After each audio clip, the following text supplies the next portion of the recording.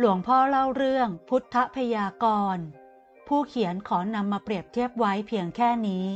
พอที่จะสรุปเหตุการณ์จากคำพยากรณ์ได้ว่า จะมีภัยเกิดจากสงครามและธรรมชาติ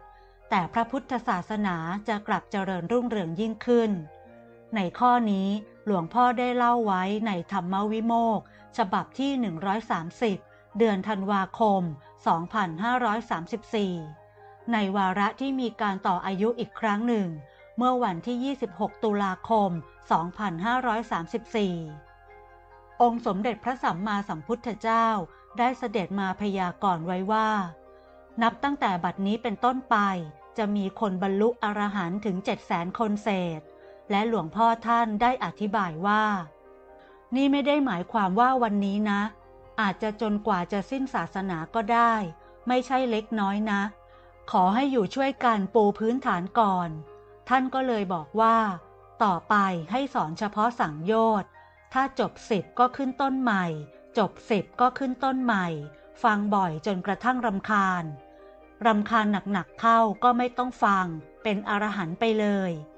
หลังจากนั้นแล้วหลวงพ่อตอบคำถามที่ว่าเจ็ดแสนคนของหลวงพ่อหรือของใคร หลวงพ่อตอบว่า ท่านไม่บอกจำกัด รวมแล้วก็เป็นสายของพระพุทธเจ้า หนังสือพุทธศาสนาสุวรรณภูมิปกรณ์ เป็นอันว่าคำพยากรณ์ที่ได้นำมาเสนอนี้ เป็นข้อมูลที่เกิดขึ้นในสมัยปัจจุบัน ต่อไปจะขอนำข้อมูลที่เกิดขึ้นในครั้งอดีตการนานมาแล้ว ซึ่งได้ปรากฏเป็นหลักฐานในกระเบื้องจานท่านเจ้าคุณพระราชกวีวัดโสมนัสกรุงเทพเป็นผู้อ่านข้อความเหล่านี้ พร้อมกับได้เติมข้อความของท่านไว้ในวงเล็บอีกด้วย และในหนังสือธรรมวิโมกหลวงพ่อเคยบอกว่า ท่านเจ้าคุณองค์นี้ปรารถนาพุทธภูมิในอดีตชาติ คือช้างปาลิไลยกะ ที่จะได้ตรัสรู้เป็นพระพุทธเจ้าองค์ที่สิบในกับนี้ จึงขอนำใจความมาจากหนังสือ พุทธศาสนาสุวรรณภูมิปกรณ์ซึ่งท่านได้บันทึกไว้อย่างนี้ว่า เดือนเด่นฟ้า ลงคำโสนะ เมืองกรุงศรีอยุธยาอยู่ 400 กว่าปี พศ 1893 ถึง 2310 ยอดฟ้าราชาก่อสร้างกรุงเทพมหานคร ตั้งยืน 1,550 ปี ราชาตลอดล้วนมีธรรม เป็นพุทธศาสนิกตลอด 2,500 ปีเศษมาแล้ว ไม่เคยมีเปลี่ยน พระเจ้าเดือนเด่นฟ้า กษัตริย์แห่งกรุงสุวรรณภูมิราชบุรี ได้จารึกตามคำของพระโสนะ พระเจ้าอาโศกทรงส่งมาเป็นสมณทูต พร้อมกับพระอุตระ ได้พยากรณ์พระพุทธศาสนาในอนาคตการ ในวันที่จะนิพพานว่า กรุงศรีอยุธยาอยู่ 400 กว่าปี พระพุทธยอดฟ้าจุฬาโลกส่งสร้างกรุงเทพเป็นเมืองหลวงอยู่นานถึง 1,550 ปี พศ 2325 ถึง พศ 3875 พระเจ้าแผ่นดินทุกพระองค์ล้วนทรงธรรม เมื่อนั้นพระพุทธพจน์คือคำสอนของพระพุทธเจ้าจะเข้าถึงชาวไทย อีกทั้งพระภิกษุสามเณรประพฤติดี เป็นตัวอย่างของคนทั่วไปทั้งประเทศ พศ 2500 ไปแล้ว หลังจากพระบาทสมเด็จพระเจ้าอยู่หัวทรงอุปสมบท จะทรงฟื้นฟูพระพุทธศาสนา ทั้งชาวไทยและชาวต่างประเทศ จะหันมานับถือพระพุทธศาสนากันมาก พศ 2508 มีอารามเกิดขึ้นในประเทศอังกฤษ พระนางเจ้าอริซาเบธทรงเป็นองค์อุปถัมภ์พระบาทสมเด็จพระเจ้าอยู่หัวรัชกาลที่ 9 จะเป็นศาสนูปถัมภกยกยอพระพุทธศาสนา ทั้งอุบาสกอุบาสิกา ภิกษุสามเณรดังนี้ นี่ก็เป็นการนำข้อมูลต่างๆ มาให้อ่านกันก่อน เป็นการวิเคราะห์เปรียบเทียบในการทำนาย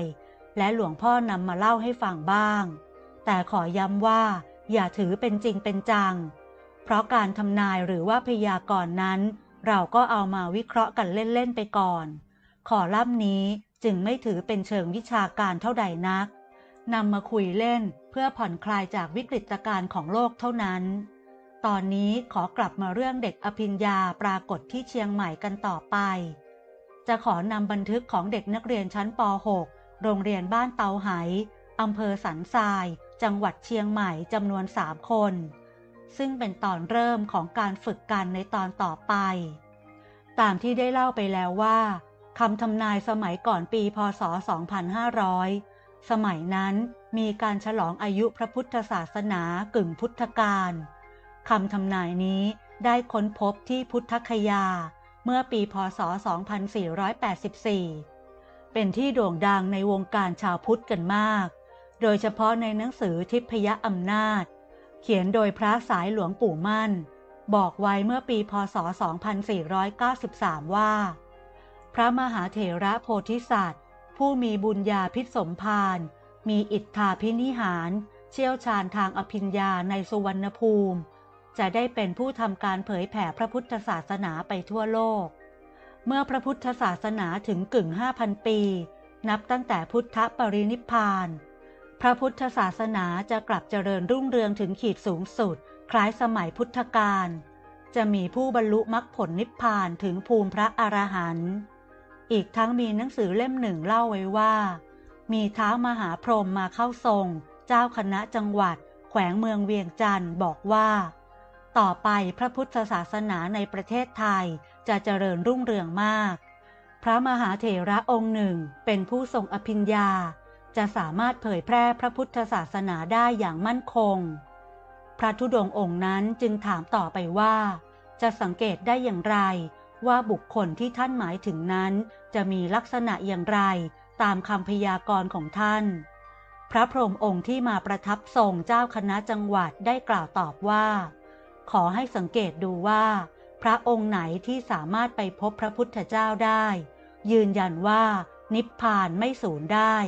และสามารถสอนคนให้ไปพบนรกสวรรค์ได้ หรือพบพระพุทธเจ้าได้เช่นกัน องค์นั้นแหละที่ตกอยู่ในคำพยากรณ์ นี่ก็เป็นเหตุการณ์ที่เกิดขึ้นก่อนปีพศ 2500 สมัยนั้นยังไม่มีข่าวเรื่องอภิญญาเกิดขึ้น